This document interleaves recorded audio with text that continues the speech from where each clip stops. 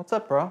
Man, how many times I gotta tell you? You can't be calling me bro. Trevor calls you bro. Trevor is black, dude. See, you just call me dude. That's not a very black thing to say. When white guys say bro, it just sounds like they're trying to be cool. It just doesn't sound right. You're right on time, Evan. In fact, last time I seen you, you took two G's from me, nigga. That's right.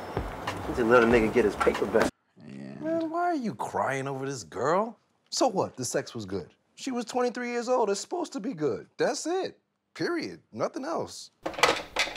Well, hello, Lori. I was just looking at your ticket. Oh, it's working now. Voila! With that soft ass, gay ass, Caucasian ass voice.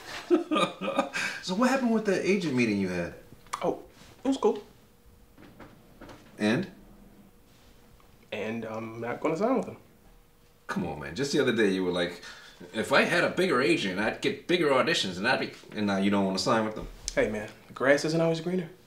Nah, man. Well, something happened.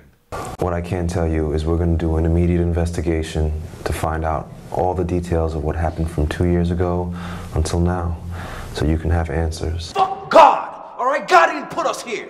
All right, and God definitely didn't put that fucking gun in your hand. So listen, way I see it, East Side is coming back here and they coming at us, and you need to be fucking ready.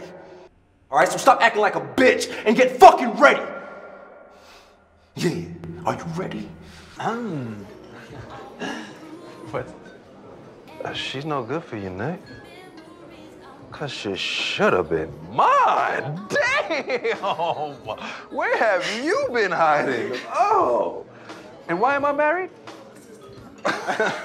Don't pay him no mind. His mama dropped him on his head at birth. nice to meet you. You too. My husband is harmless indeed.